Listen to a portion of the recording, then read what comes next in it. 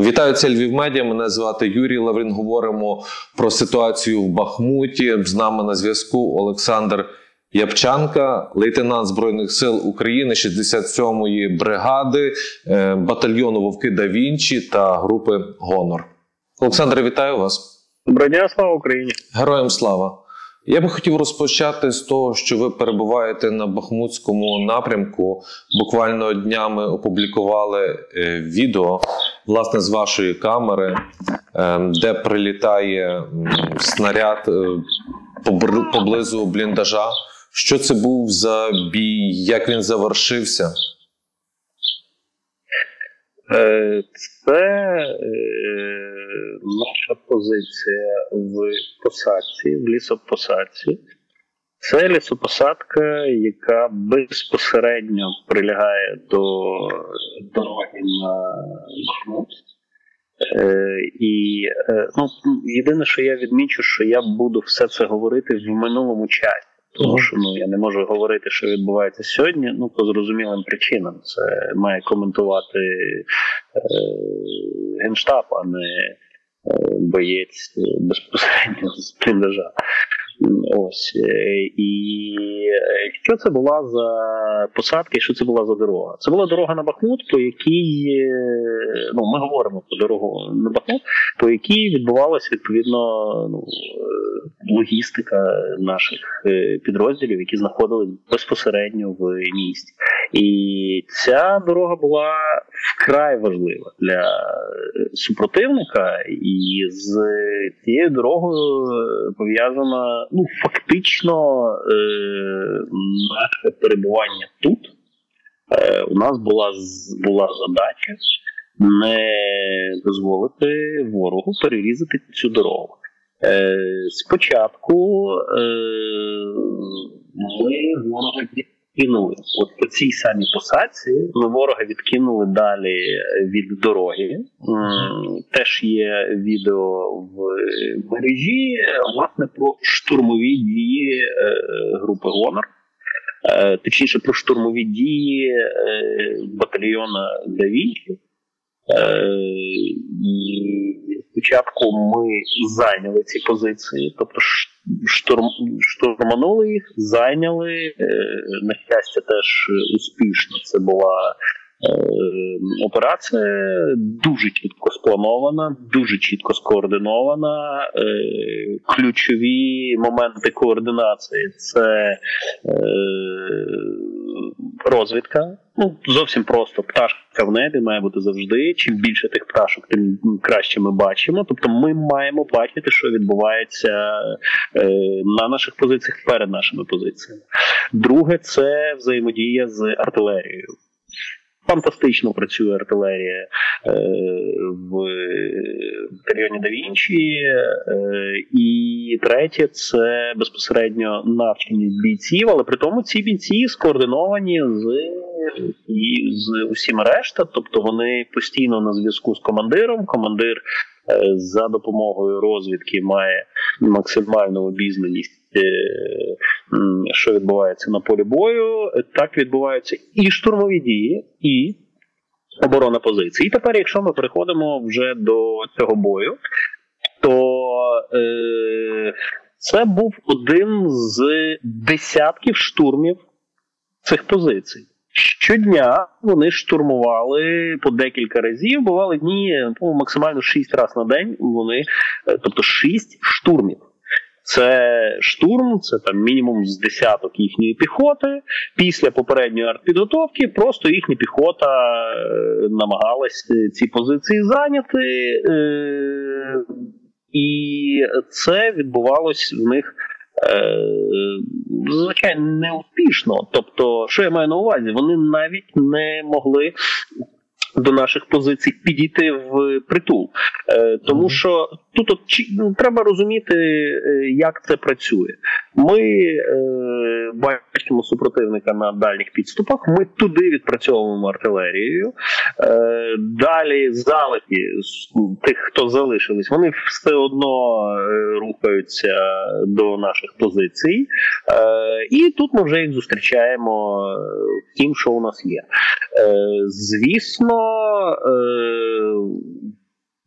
ну, звісно, що набагато кращий варіант це коли ми не даємо противнику підійти в притул до наших позицій. От той бій, який ви вже бачили, це вже далеко не ідеальний варіант. Це вже ситуація, коли супротивник безпосередньо підійшов до нашого бліндажа. І там було питання буквально буквально декількох вдалих дій абсолютно конкретних людей. От там е, з основного складу гонору, тоді в тому е, бліндажі був боєць Тіхій, е, з камери якого теж е, монтувалось це відео. Е, і фактично Тіхій витягнув цей бій. Тобто він е, професійно спрацював робив дуже вдалий маневр, е, обійшовши, е, вийшовши на м, зручну позицію для вогню, і там, власне, є з його камери, як він е, знищує супротивника. Е, Оце, власне, коли він веде бій з Брусфера, тобто він вискочив на е, бліндаж і от звідти ввів е, вогонь. Е, ще було двоє бійців безпосередньо там з основного складу гонору. Е, це бомба і водос. І решта це були молоді необстрільні хлопці, в яких це був перший бій. Їх до нас до ну, додали до нашого підрозділу, але це був фактично їх перший бій. Чому? Тому що наш підрозділ і наш батальйон за півтора місяці поніс ну, відчутні втрати. Ну, зокрема, ми втратили командира батальйону. Да Вінчі це був більше, ніж командир батальйону. Це був, е, знаєте, це була людина, яка була попереду. От от правда, без без перебільшення. Тобто, uh це людина, яка вела людей за собою власним прикладом. І коли він загинув, звісно, це був шок для бійців, і, і е, був були побоювання, що моральний дух бійців може. Ну, хлопці можуть просто цього не витягнути. І ви знаєте, е, витягнули. І не просто витягнули, а хлопці воюють і в тому числі в пам'ять про героїчного да Вінчі, тому що, ну слухайте, це велика честь е, носити шеврон, шеврон Вовків да як і шеврон гонору, тому що назва гонор це теж е, від позивного бійця, який загинув ще в 2014 році. І це е, ця втрата не надломила хлопців, а радше навпаки, хлопці ці півтора місяці дуже гідно е, дуже гідно воювали. Але на жаль, це війна, і війна це втрати, і батальйон. І група Гонор ми понесли відчутні втрати, тому нам додали молодих і необстріляних бійців, які, зрештою, як на молодих і необстріляних бійців, теж повели себе доволі гідно. Ну вони в тому бою теж допомогли. Е, І е, підводячи підсумок під тим, що я сказав, е, запорука успіху це е, взаємодія, це навченість. І е, це, звісно, що досвід. За більш ніж рік війни у нас вже достатньо досвіду, аби Е, самим воювати успішно, тому що наші втрати е, не співмірні, не співмірні з кількістю е, знищених ворогів. Ну уявіть щодня декілька штурмів, і їхні штурми завжди обходились втратами е, вбитих і в поранених, а вогнера особливо своїх поранених не виносили. Ось, тобто фактично вони там і залишались. Тепер щодо противника, теж не потрібно недооцінювати супротивника. Е, Особливо ось цей штурм, який ви бачили, там ми вже мали справу з е, іншим ворогом. Тобто е, це були добре скоординовані дії, це була точна робота артилерії. Е, І ось це попадання, це було фактично попадання в бліндаж. Ну тобто, Я перепрошую, а це, туди з міну... а це з міномета було е, попадання? Так, це скоріше за все 120. Та не скоріше за все, це 120 міна. Ну тобто, і це вже було друге попадання в той бліндаж в той день. Е, перше попадання, от власне, з чого починається відео, коли з камери е, видно розрив. Оце я кажу: ой-ой. Так, Оце я так. бачу розрив. Я ще не розумію, куди прилетіло, але я розумію, що мені рухатись в ту сторону. От прям туди я біжу, бо там десь позиція. І коли я вже забігаю в бліндаж, то я розумію, що ось цей прильот це було в бліндаж. І він е, попав в крайні бруси, і він ті бруси просто обрушив. Це було ну 120 міномет з, з, з, з е, височенною долею ймовірності, що це саме був 120-й міномет. І потім попадання було це вже з моєї камери, коли я знаходжусь в середині. Е, попадання, і там знаходиться командир е, взводу кліщ. І от кліщ, ну, слава Богу, живий здоровий. Це взагалі фантастика і досвід. Якщо ви звернули увагу, перед самим прильотом він же ж підкопував. Е, тобто, у чому була от саме тоді, коли цей розрив, що тоді ми робимо? Е, командир взводу каже: нам потрібно далі окопуватись. Це при тому, що було вже два прильоти в цей бліндаж. Ми позицію не здаємо. Ми тримаємо позицію. Далі він просто бере сам лопатою і починає підкопувати, е, викидати туди е, землю. Далі він е, розвертається, і отут момент я в нього писав, я в нього питав буквально вчора. Кажу, слухай, а ти чув, що воно летить? Він каже: Я того не пам'ятаю, ну бо зрозуміло, що після самого прильоту він е, е, був дещо дезорієнтований. Е, але це досвід, коли ти вже десь на підсвідомому рівні розумієш, що тут тобі потрібно е, знизити силует і е, тоді цей розрив. Е, І далі, от для мене особисто, от той момент, коли я питаю, е, ну Льоха, ти як? Він піднімає палець. Розумію, фух, фух. Ну бо, ну, бо дурне думає. Тому що коли я забіг в бліндаж, то один наш побратим загинув. От з основного е, складу, і ще е, один загинув власне з молодих.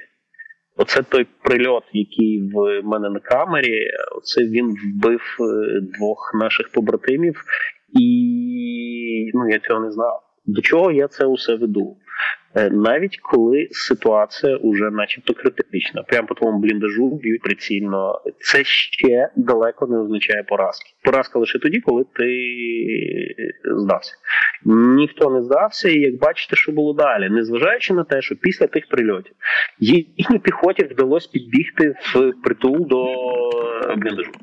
Е, незважаючи на те, що їх було ну, в рази більше. І вони нас обходили от цих е, противник, якого, якого ми знищили безпосередньо під бліндажем, з правого боку, там з десяток.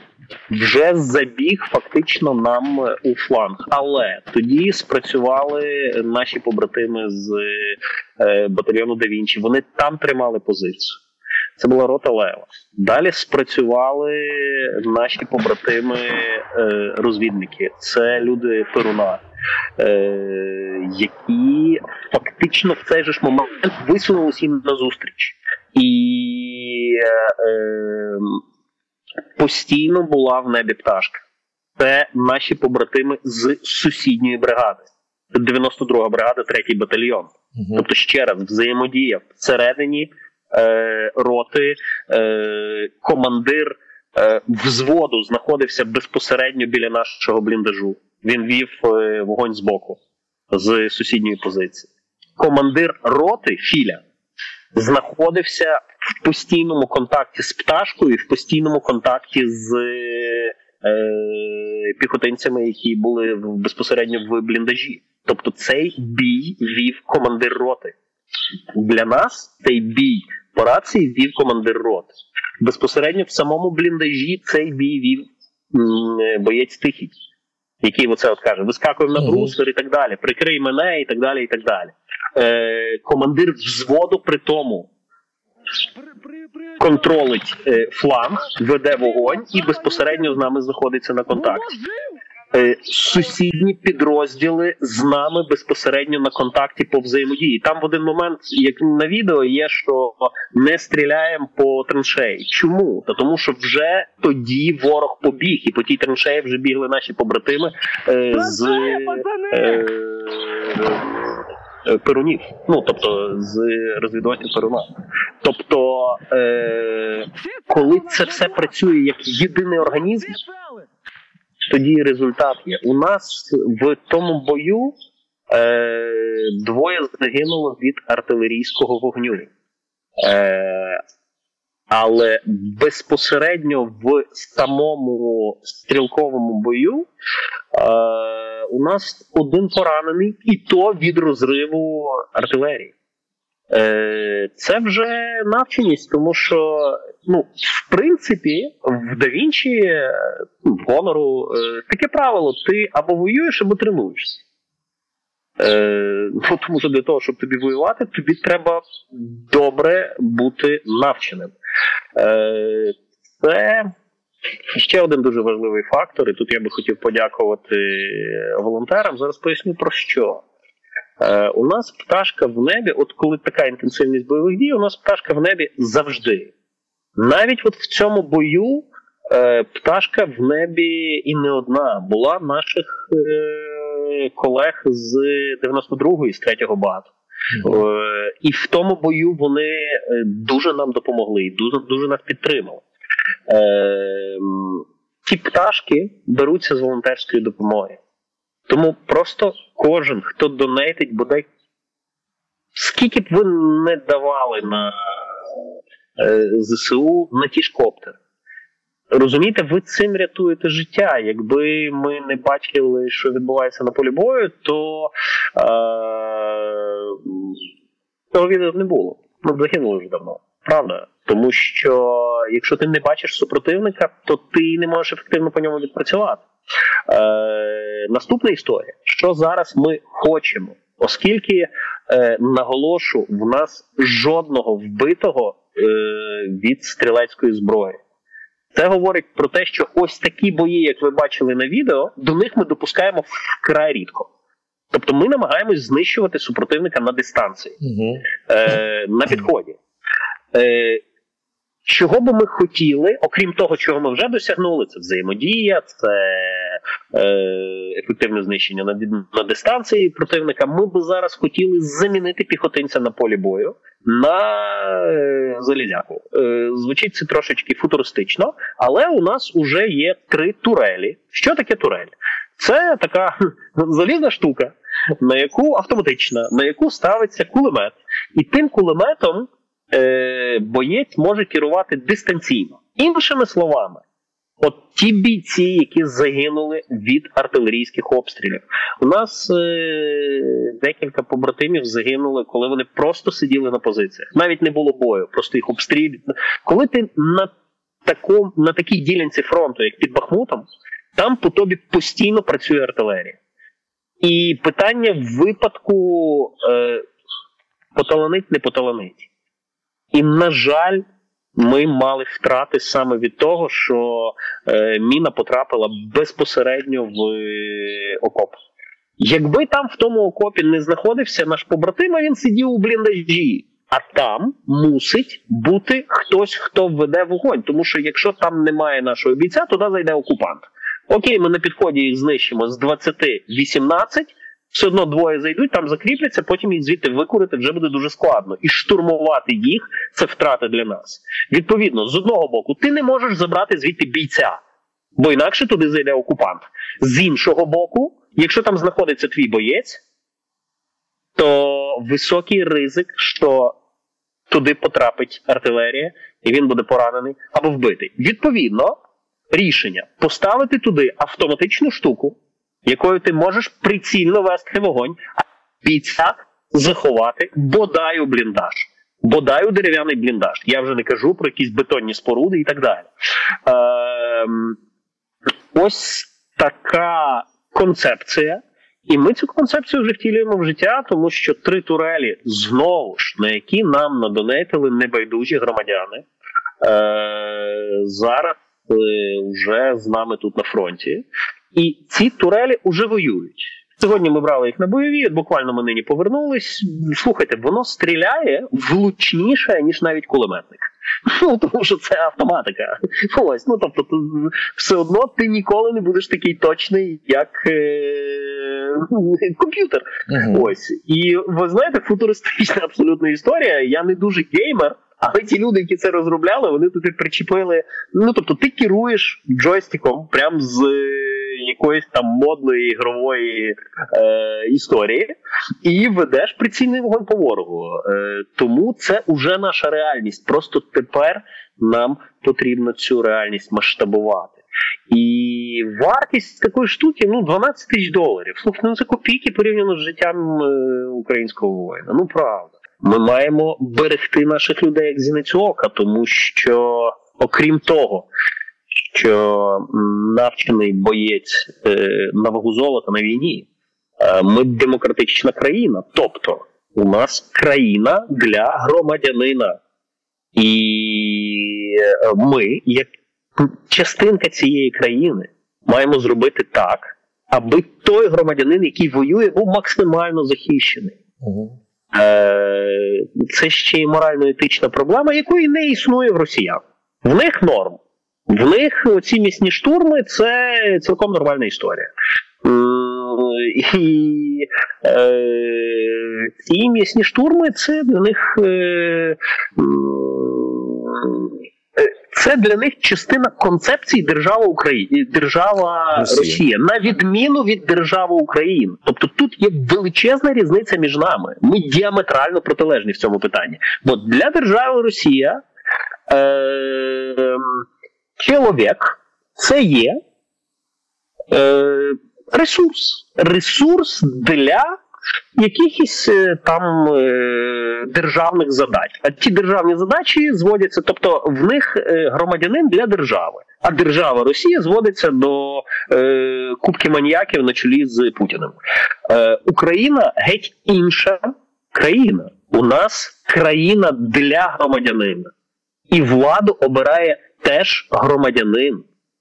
І саме тому ми зараз маємо подбати, аби ті громадяни, які воюють заради ось такої країни, країни для громадянина, аби ті громадяни були максимально захищені. Е, І Турелі це один з е, варіантів цю проблему вирішити. Е, я вірю, що якщо ми це діло масштабуємо, то росіянам це дуже не сподобається. От їм дуже не сподобається воювати з е, е, не просто з мотивованими українцями, а ще й з вмотивованими українцями, які на голову переважають їх, в тому числі і в технічному плані. Така ідея. Е, я хотів також вас запитати щодо втрат ворога. Ви вже сьогодні про це е, згадували, говорили і в іншому інтерв'ю, що поранених вагнерівців, ну зараз вже не лише вагнерівців, а й регулярні війська, спецназ, можливо, вкрай рідко евакуйовують. Чому так? Е, тут я маю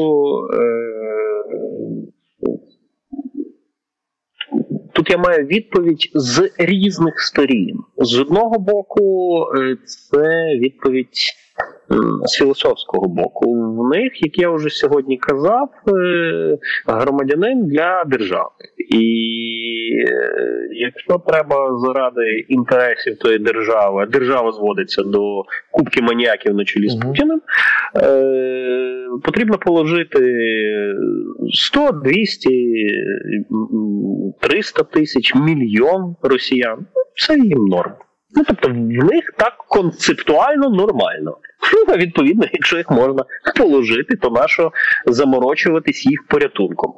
Е, Це одна площина е, відповіді на це запитання. Інша площина відповіді на це запитання ну евакуація поранених і евакуація загиблих.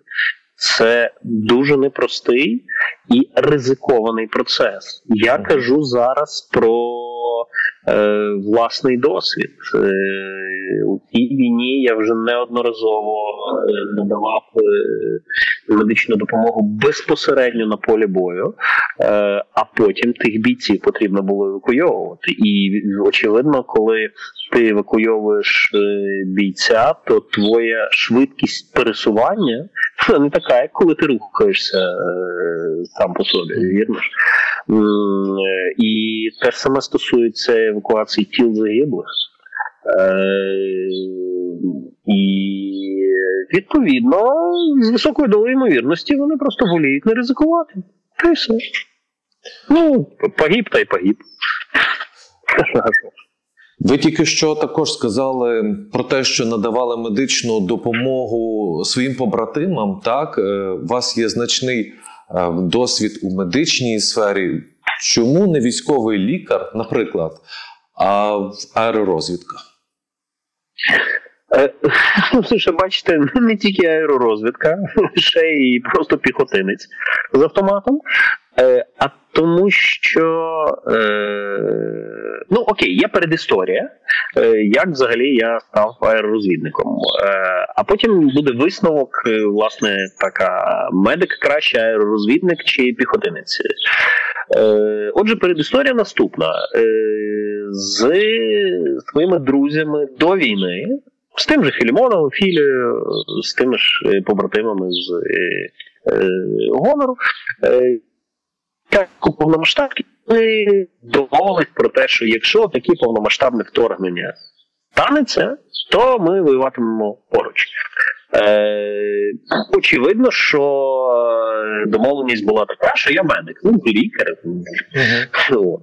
І приблизно так ми з Філією домовилися. Ну, от буквально за, за декілька тижнів там, до повномасштабного вторгнення ми зустрілися у нашого друга е, е, пана Василя Арбузова в Львові. Та й я кажу, Філя, така що медик треба? Що ти питаєш, звісно. Ось. Е, отак ми й домовились. Потім почалось повномасштабне вторгнення. Е, Я в той же день приїхав до Києва.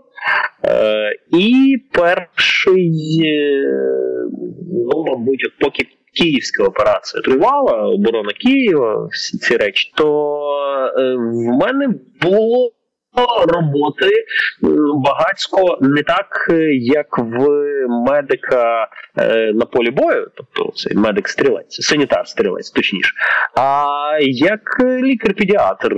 Тому що ну, взагалі я за фахом лікар-педіатр. Що я маю на увазі? Ну, хлопці похворіли з усілякими там болячками. Ми ж жили, ну уявіть. На той час нас було ну, десь 30, напевно. Може, з 30, може трохи більше. Ми жили всі разом, напевно.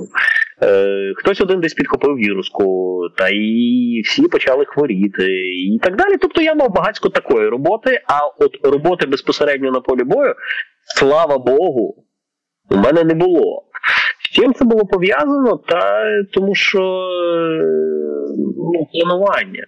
Ну, на що звернуло свою увагу, Філя будь-який наш виїзд планував просто до деталей. І відповідно, ну, слава Богу, роботи не було, але ти їдеш на виїзд. А, думаєш, хоч би не було роботи. Ну це ж все друзі твої. Ну, люди, з якими ти не один рік дружиш. Ну, тобто, а потім повертаєшся, роботи не було, думаєш, фух. Але з іншого боку, задаєш собі питання: ну а який з мене тут був толк? Ну, от, от, добре, ти прожив цей день от, з автоматом. Теоретично гідно прожив, але по факту ти ніц не зробив. От практично. Е, ну і тоді я почав собі шукати е, якогось корисного примінення. Бо, в принципі, як це працює в добровольців на війні? Ти, ну, я можу сказати про добровольців, я припускаю, що це так працює ще багато в кого. Але ти вже як прийшов на війну, то воюй, що це означає? Будь максимально корисний для тої справи, яка ну, якою ти займаєшся. Та і я почав шукати собі, е, де я можу бути ще корисним. Е, ну а оскільки, е, на мою думку, е, ми маємо воювати інтелектом, ми маємо перемагати їх перш за все розумом. Звісно, героїзм. Але на війні героїзм потрібно включати вже тоді, коли десь сталося недопрацювання. Мгм. От у чому справа. І на той час е, дрони це ще було ну, геть не таке поширене явище, як зараз, але я одразу побачив, е, яку вони дають перевагу. Тобто, чим ти краще бачиш ворога, тим е, ти ефективніше його знищиш. А чим ти більше знищиш ворогів, ну тим тим менше е, загине твоїх побратимів. Е, приблизно така математика війни.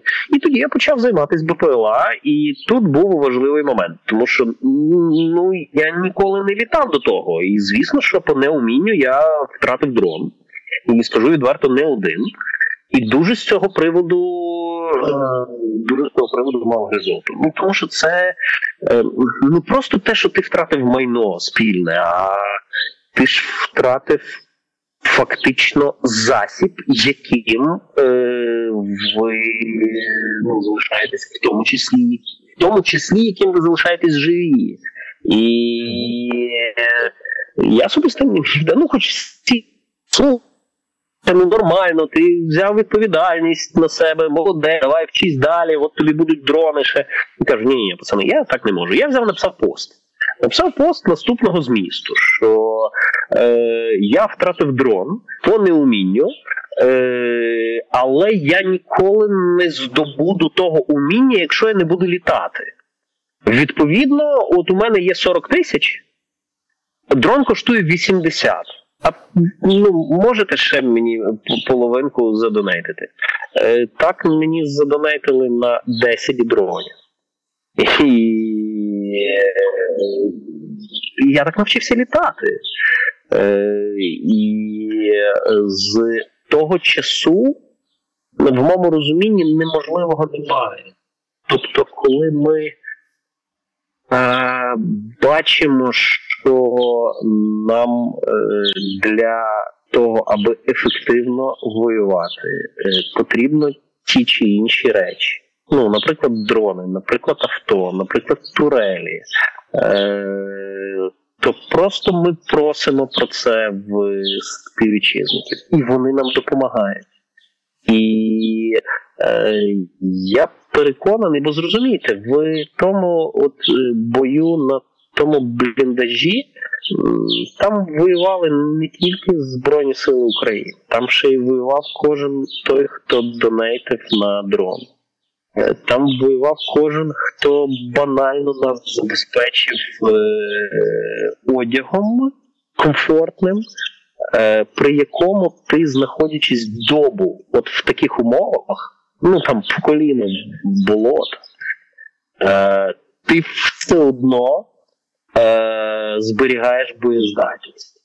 Е, Це заклик е, з одного боку не припиняти допомагати Збройним силам.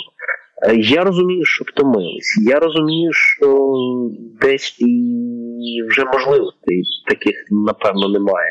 Але е, це важливо для е, військових не лише точки зору практичного використання тої чи іншої речі на війні, а це ще й важливо е, з точки зору розуміння, що тебе підтримують, що тобі віддають навіть тоді, коли й самі дуже мають. І повірте, ми це дуже цінуємо.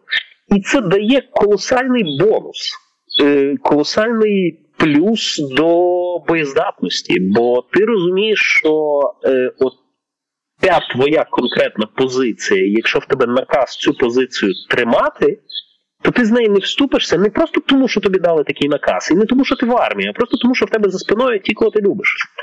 І е, підтримка ЗСУ це фантастика. Підтримка з боку е, небайдужих це фантастика. Тому ще раз дякую. Правда, це дуже круто. Дякуємо вам також, Е, Олександре. Хотів би також поговорити про лідера гонору. Е, В нього був пост. Процитую: всі, хто знають Саню Япчанку, знаєте, він рекс піс. Сьогодні так вагнерів розносив. Що це була за ситуація? О, ви знаєте, це е, Філя, дякую, друже. Приємно. А це була якраз та ситуація, коли вагнера до нас не могли підійти. Ми їх знищували на дальніх підступах. Е, і е, як це відбувалося? Е, вони накопичуються, їх бачить наша пташка. Якою І- ви керували, я правильно розумію? Так? Ні, ні, ні. Я тоді власне був в бліндажі. Я тоді вів бій безпосередньо з. Ну тобто, я командував е, те, що робив Тіхій в цьому бою, який ви бачили е, Так. крайній, е, те саме я робив просто в попередньому бою, який був геть не такий героїчний. От геть не героїчний, тому що ми просто вогнерів не підпустили. Але ну не менш ефективний. Тоді в той день було чотири атаки вагнерівців на наші позиції, і ми всі чотири відбили. Більше того, е, як це відбувалось на практиці? Вони накопичуються, при цьому відбувається артобстріл наших позицій. Ми сидимо в бліндажі. Е, далі я отримую сигнал, що вони вже підходять на відстань е, стрілецького бою. Ми вискакуємо з бліндажу і ведемо по них стрілецький бій. Е, знищуємо частину їхньої групи, вони починають відкочуватися. І ще коли вони відкочуються, ми їм ще насипаємо в. Ну, Доганяємо, ще, насипаємо їм ще в супровід. І теж там ще знищуємо. Так відбувалось, і е, це був набагато простіший бій, ніж той бій, про який, е, який вів Тіхій. Е, чому? Тому що е, все ж таки в той день щільність артилерійського вогню е, була меншою той день, про який е, писав Філя. І все ж таки виходити. Розумієте, будь-який вихід з бліндажу це ризик для життя. Це ну але ти не можеш не вийти з бліндажу, якщо ти е, якщо ти хочеш втримати позицію. Тому що якщо супротивник дійде до твого бліндажу, все він далі закидає всередину гранати, і вони просто програли, ви ще і всі загинули. Е, тому е, от там якраз приклад того, коли нам все вдавалося. Е, А от е, коли був бій, е, яким керував Тіхій, то е, тут е, вже була історія. По-перше, був е, ну чи не найщільніший і точний артилерійський вогонь. В принципі, вибігати з бліндажу це було трохи самогубство, але не вибігати звідси це було точно самогубство. От в чому Мгм. справа. І відповідно, це відео, що ви бачили, там поруч розриваються е, міни. Оце ти воюєш в таких умовах, але ти не можеш вчинити інакше. І тому я так звернув увагу на те, що там е, бійців основного складу гонору було всього четверо. Інші необстріляні бійці, ну було б напевно. Е, ну, сподіватись на те, що вони покажуть таку ж. Е, ну ж вони покажуть такий ж клас, як, наприклад, той же Штихій, е, ну навряд чи. Але, але вони не злякались. Але все одно е, вони з бліндажу виходили, нехай на вони вискакували за брусфер. Тобто, ну мені е, за цих людей я приємно здивований. Ну тобто, вони не злякались і не стали дисфункціональними. Звісно, що е, ну вони не могли повноцінно вести так білий, ну вони навчаються. Я в тому не сумніваюсь. Е, ось. І чому я ці два бої порівнюю? Е, е, це про е, це про ефективність роботи. В той день, коли мене відмітив Філя, е, нам таки вдавалося їх все ж таки не підпускати безпосередньо до наших позицій і відпрацьовувати по них е, дистанційно. І це ті речі, про які я вже сьогодні казав: координація, професіоналізм, ну і звісно, сміливість е, вилазити з того бліндажу, тому що ну, так собі історія, коли біля тебе лягають міни, а ти мусиш виходити з укриття. Ну бо так треба. Олександре, ви вже сьогодні згадували, яким був е, Да Вінчі, власне, в батальйоні імені його ви служите. Е, Дмитро Куцюбайло загинув на полі бою. Е, Як змінився батальйон після його героїчного відходу? Та напевно найточніше буде сказати, що батальйон е, не змінився в плані боєздатності. Але у батальйону з'явилася ще одна причина воювати. І воювати вміло, я б навіть сказав, затято. Ну, це, це знаєте, про е, ну, про братерство таке військове. Тобто, ну, я переконаний, що е, що б зі мною не сталося на цій війні, я переконаний, що цю війну ми виграємо. Смерть кожного побратима, тим більше смерть е, да Вінчі, ну тобто великого воїна, е, вона дає е, ще мотивацію. Вона е, навіть не стоїть питання про те, що ти втомився. Тому що ти не можеш втомитись раніше, ніж ви переможете у війні. От все, переможемо в війні, я втомлюсь так, що нічого не буду робити місяць, напевно, може довше. Ну, я не знаю. Ну, от я можу втомитись, коли ми переможемо в цій війні, не раніше. Смерть кожного побратима це ще один аргумент, що ти не можеш втомитись. Це ще один аргумент, що ти маєш воювати ще успішніше. Ну і слухайте, це вже з. Знаєте, це вже десь з царини метафізичного. Воюй так, аби тобі було не соромно дивитись у очі твоїм полеглим побратимам. Ну, знаєте, коли мій побратим да Вінчі, ну повірте, я буду воювати так, аби мені не соромно було дивитись йому в очі. На сам кінець, ви крім того, що медик, активіст, зараз військовий, який боронить нашу землю.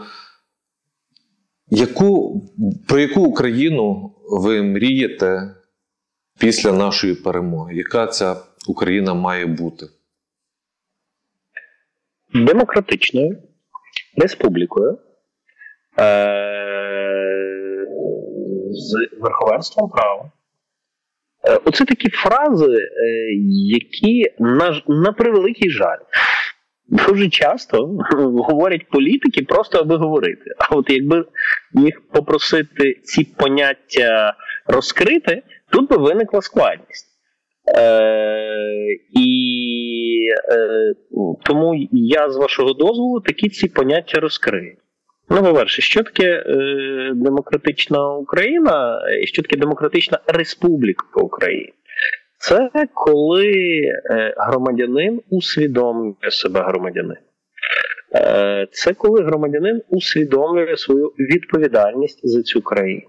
Це коли саме громадянин є дійсно владою в цій країні, а носії повноважень пам'ятають, що вони носії повноважень делегованих. І от кожен українець, який має паспорт, він має розуміти вагу цього паспорта. Найцінніше, що є в цієї країни, це громадянин, який усвідомлює себе громадянин. Ось про таку країну я мрію. А ще повернувшись до питання, чи я оператор БПЛА, чи я піхотинець, чи я все-таки медик. Справа в тім, оце, напевно, про яку армію я мрію. Я мрію про армію універсальних солдатів. Що це мається на увазі? Зрештою, зараз у нас в гонорі е, кожен є е, медиком на тому рівні, що кожен може надати допомогу на е, полі бою по марчу. Ну, не просто щось десь бачив, чув, а це купу разів практикувалось. Більше того, е, коли в нас е, було поранення бійця власне в тому бою, то я накладав турнікет на одну руку, а в той час на ногу накладав турнікет інший боєць. Мені просто достатньо було сказати, роби щось це. Він це зробив, а я просто вже там дотягнув того турнікета. І боєць, слава Богу, живий зараз відновлюється після поранення. А якби не було цих умінь, він би загинув. Просто він достік кров'ю. Е, Тепер про оператора БПЛА. Ну, слухайте, 21 століття. Звісно, що піхотинець має бути оператором БПЛА. Звісно, що технології рухатимуться доперед. І е, розумієте, універсальний піхотинець може, е, може виконувати ем, задачі, які раніше виконувались там, е, ну, умовно, взводом. Так? Тобто, якщо ти як е, піхотинець грамотно вибрав місце, з якого ти ведеш аеророзвідку, і визначив позиції противника, по тим позиціям відпрацювала артилерія, і ти зробив те, чого раніше, мабуть, і взвод не зробив піхотинців. Е, ну і звісно, стрілець. Ти маєш мати базову підготовку, тому що ти ніколи не знаєш, в яку ти попадеш в ситуацію. Ну і знову ж, оце, якщо порівнювати ті два бої, дивіться, як цікаво влаштовано. В одному бою на тій же ж позиції командував боєм безпосередньо там на тій позиції я. Потім в іншому бою я вже був одним з бійців, ким командував мій побратим. І між нами це цілком нормальна історія. Тобто е, український воїн має бути максимально універсальним солдатом. Е, ось таку би я бачив армію. е, Ну, ось таку би я бачив армію в Демократичної Республіки Україна. Олександр, я дуже дякую вам за розмову. Я дуже вдячний за те, що ви бороните нашу землю. Бережіть себе, бережіть побратимів. Спасибі вам. Дякую вам, слава Україні! Героям слава! З нами на зв'язку був Олександр Явченко, лейтенант Збройних сил України, група Гонор, батальйон Вовки да Вінчі, 67 бригада. Дивіться Львів Медіа, підписуйтесь та коментуйте, ставте лайки. Побачимось.